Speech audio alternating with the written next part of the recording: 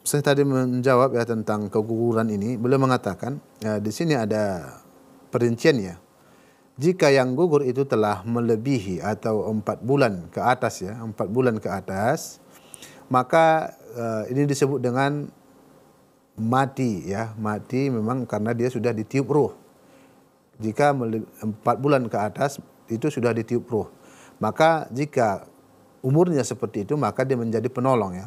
Penolong bagi kedua orang tuanya.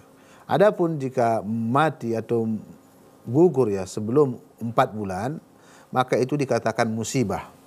Dan jika orang tuanya baik bapak atau ibunya bersabar ridho terhadap takdir Allah Subhanahu wa taala maka dia mendapatkan pahala yang sangat banyak.